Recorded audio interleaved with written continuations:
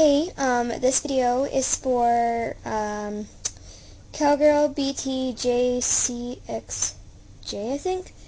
Um, yeah. Okay, um, for saying, this is Romance Q.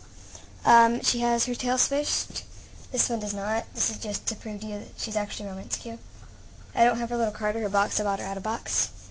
Um, but it's her. I promise. See. Um, she is almost mint. She has a little bit of hoof rub, like that's seen on this one. Oops, sorry.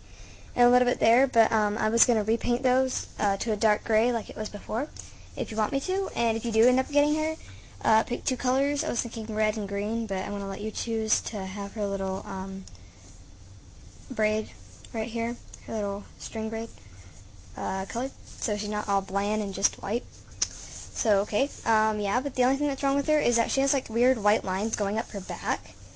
Um, if you have her under saddle, then I don't think you'll be able to see it, like in the showroom. But, um, mm, yeah, like I said, I mean, I can redo her hoofs for you. It won't take me that long. I can do it right now. Um, she's really pretty. I really love her, and I don't know if I'm going to get rid of her. I'm asking, um, uh, 75, three less than she's actually worth because of her back.